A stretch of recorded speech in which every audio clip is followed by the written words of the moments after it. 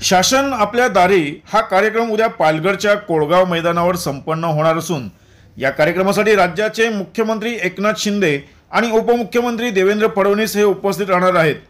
या कार्यक्रमाची जय्यत तयारी करण्यात आली असून प्रशस्त व्यासपीठ त्याचप्रमाणे प्रशस्त बैठक व्यवस्था देखील करण्यात आली आहे.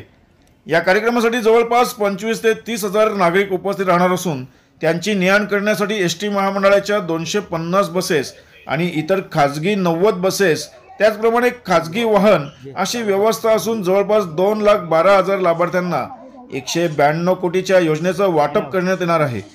त्याचप्रमाणे उद्या शाळांचा प्रवेशोत्सव होणार असल्याने याच ठिकाणी मुख्यमंत्री आणि उपमुख्यमंत्री यांच्या उपस्थितीत गणवेशाचे वाटप देखील करण्यात येणार असल्याची माहिती पालघर जिल्ह्याचे जिल्हाधिकारी गोविंद बुडके यांनी दिली आहे. शासन आपल्या दारी हा शासनाचा कार्यक्रम उद्या संपन्न होत आहे.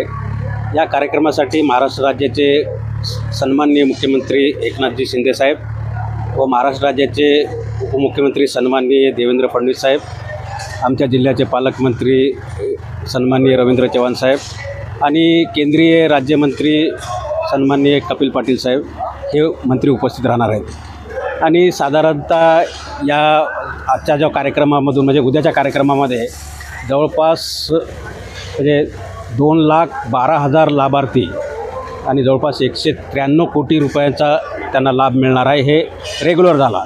आणि त्या व्यतिरिक्त एज्युकेशन विभागामार्फत म्हणजे जिल्हा परिषदच्या एज्युकेशन विभागामार्फत शालेय विद्यार्थ्यांना जो गणवेश आणि पाठ्यपुस्तकाचं वाटप आहे ते जवळपास साडेचार लाख लाभार्थ्यांना जवळपास सतरा कोटीचा लाभ देण्यात येणार आहे. आणि योगायोगाची गोष्ट म्हणजे उद्यापासूनच या वर्षीचं शैक्षणिक वर्ष सुरू होतं.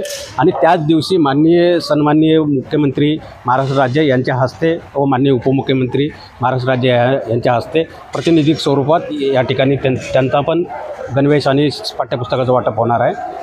आता वेगवेगळ्या तालुक्यातून म्हणजे जव्हार आणि मोकाडा सोडून कारण जव्हार आणि मोकाड्यासाठी आमचा असाच कार्यक्रम तीन तारखेला संपन्न झालेला आहे. त्यामुळं आम्ही तो त्या दोन तालुक्यातले लाभार्थी इथे बोलवलेले नाहीत.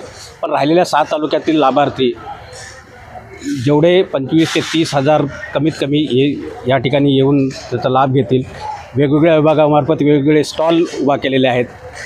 जिल्हा परिषदचे असतील महानगरपालिकेचे असतील आमच्या तहसील ऑफिसचे असतील आणि इतरही कृषी विभागाचे स्टॉल आहेत. आणि तिथे आम्ही दिवसभर त्या लाभार्थ्यांना जो लाभ देऊ आणि त्याचबरोबर ज्या विविध शासकीय योजनेची परिपूर्ण माहिती म्हणजे ह्या योज ह्या कार्यक्रमातून फक्त लाभच देण्याचा नसू उद्देश नसून लोकांना सगळ्या योजनेची ज्या ज्या योजना त्यांना फायद्याच्या आहेत किंवा त्यांना मिळू शकतात त्यांचा हक्क आहे त्या सर्व योजनेची परिपूर्ण माहिती आमच्या सगळ्या कार्य कर्मचाऱ्यामार्फत एकाच छताखाली देण्याचा आमचा प्रयत्न आहे. तर पावसाचं वादळाचं संकट आहे त्यासाठी कशी तयारी केली? हा आता हा जो थोडा चक्रीवादळाचा जो आम्हाला थ्रेट्स आहे त्याबद्दलही वेळ अपडेट्स वेळोवेळी आम्ही घेत आहोत. तो थोडासा आता आजची दिलासादायक आहे दि परिस्थिती. थोडासा तो सौराष्ट्राच्या पलीकडच्या दिशेने तो सरकत आहे अशी माहिती आहे. त्यामुळं जे पंधरा तारखेला थोडा पावसाचा जो फोरकास्ट होता तो थोडासा कमी झालेला आहे. आणि त्या अनुषंगाने पाऊस जरी आला तरी त्या अनुषंगाने आमचा सगळा वॉटरप्रूफ हा जो मंडप आहे तो केलेला आहे. आणि जो येण्यासाठी जो हा सॉईल ब्लॅक कॉटन सॉईल आहे त्यामुळे खडीचा रस्ता पण तयार केलेला आहे. आणि पार्किंगची व्यवस्था आम्ही ज्या सगळ्या रिंग रोड आणि आमचा कलेक्टर ऑफिसचा कॅम्पस आहे त्या ठिकाणी करणार आहोत. तर नागरिक कसे येणार आहेत? काय व्यवस्था केलेली हा. आहे बस किंवा वाहन व्यवस्था कशी ना हां वेगवेगळ्या तालुक्यातून जे नागरिक आणि जे लाभार्थी येणार आहेत ते दोन मार्गाने येणार आहेत.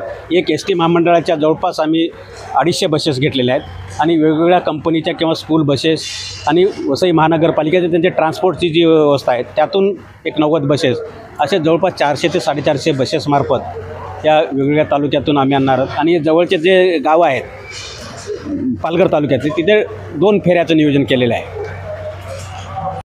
आपला जिल्हा पालघर जिल्हा. पालघर जिल्ह्यातील घडामोडी पाहण्याकरिता पालघर न्यूज नेटवर्क हे चॅनल जरूर पहा.